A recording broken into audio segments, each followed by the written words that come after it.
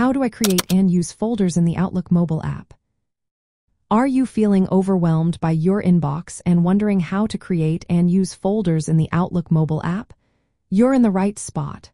Organizing your emails can make a huge difference in managing your communications effectively. Let's walk through the steps together.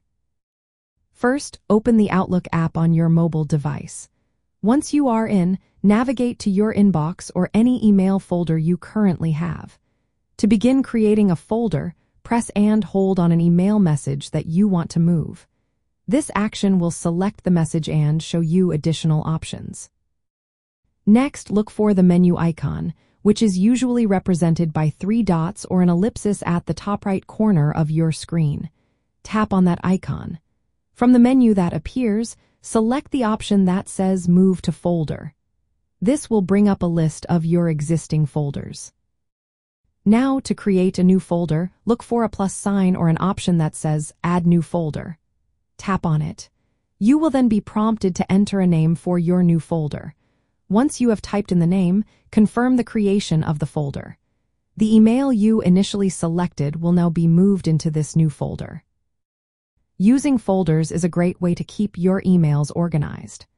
After creating folders, you can easily move emails into them.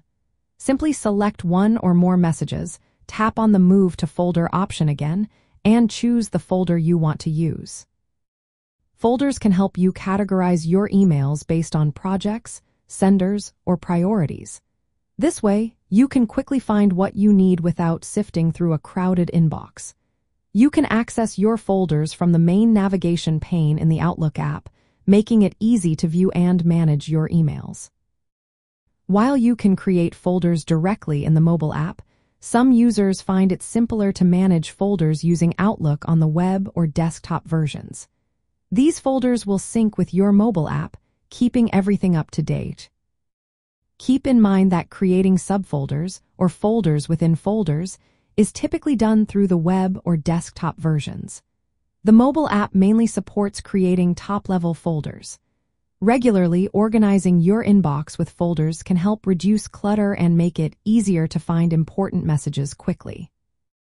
By following these steps, you can maintain a structured email system right from your mobile device, helping you stay productive even when you are away from your computer. Happy organizing!